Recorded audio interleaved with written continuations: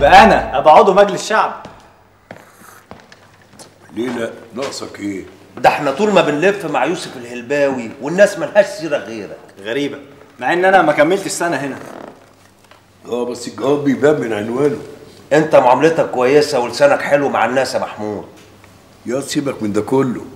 المهم ايده فرطه وبيقفشوا منه يرفعوه لسبع سما. بس من إمتى بتهتم بالسياسة يا عم؟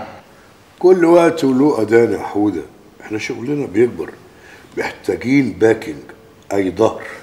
بدل ما بنجيب الغريب نزقه وننصبه على حسابنا يبقى القريب قوي. ها؟ أيوه بس أنا ملياش في اللعبة دي ما فهمش فيها. أمال لما مؤاخذة يا حوده ليك في إيه بالظبط؟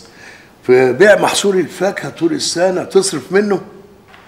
أيوه فل. أنا مرتاح كده الحمد لله. تسمع مني ولا تقول لي مالكش دعوة زي المرة اللي فاتت؟ قول يا عم فتحي. أنا مش هقول لك إن العضوية وجاهة وحماية لأني عارف إن كل ده ما يهمكش بس برضه فيها فايدة للناس وما دام قادر يبقى حرام عليك. يا حنية قلبك يا فتحي. جراك إيه يا عم محمود؟ أنت كل شوية هتضحك لنا. إيه ده يا عم فتحي؟ بكرة تكبر وتتعلم كل حاجة ما تستعجلش. فهمني يا واد يا محمود. أنا ممكن أجيب لك واحد يكتب لك الدكتوراه في غمضة عين وتبقى الدكتور محمود على سن ورمح. عشان تفرس اللي مالي بالك ها؟ أنا عايزك تدورها في دماغك وتتمعنن فيها على رواقة الدايرة بتاعتنا. وبعدين دي كلها منافع. أفكر في إيه بس؟ أنا ما صدقت هربت من البيزنس. أرجع لوجع الدماغ ده تاني. جرى يا عمي. وربنا أنت ماليك في الطيب نصيب يا حودة. آه خليك قاعد تقرأ كتب لحد ما تتجنن. طب شفت الإعلان بتاع شركة حسن؟ الله أكبر. اسكت يا ده فتحي ما يحسدش المال لأصحابه. عارف لمينا كام مليون لحد دلوقتي؟ ده الناس بتضرب على باب الشركة. الله. في إيه يا عم محمود؟ الله هو كل شوية هتضحك لنا.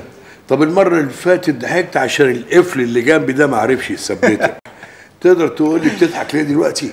ولا حاجة يا عمي ها؟ ابن أخويا طالع لي ها؟ ها؟ أنا مش قادر أفهم إيه اللي بيحصل ده. أبوس إيدك هدي نفسك. لو جرالك حاجة محدش هينفعك. البنت دي عايزة إيه مني؟ أكتر من اللي أنا عملته معاها. راحت جابت لي واحد من عيلته الشاطر وقالت لي أتجوزه رفضت. لما لقيتها مصرة قلت خلاص غصبت على نفسي. قلت لها يا بنتي لو في أمل واحد في المليون إنكم تنجحوا سوا يبقى من حقك إنك أنت تحاولي. حاولت وفشلت. عايزة مني إيه تاني أكتر من كده؟ كل كلامك مظبوط ومحدش يقدر يلومك عليه. إنما هي عايزة ترجع له يا عبد المجيد. هنعمل لها إيه؟ ربنا ما بيكلفش حد حاجة فوق طاقته. وإنت عملت اللي عليك وزيادة. المثل بيقول إيه؟ انصح صاحبك من الصبح للعصر. ما سمعش وجيه عليه المغرب ضلله. وإنت لا ضللتها ولا خبيت عنها حاجة. أهو لآخر لحظة وإنت حارق دمك عليها ومفيش فايدة. والله يا عم أنا كنت عايز منك طلب يعني بس مكسوف شوية.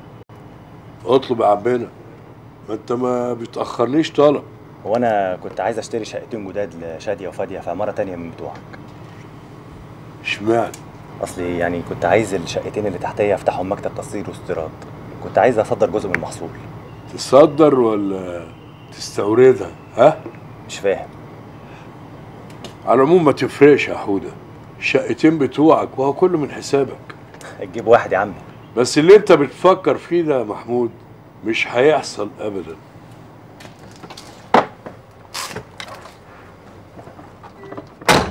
اطلع يا توم. عشم إبليس في الجنة يا محمود. ها؟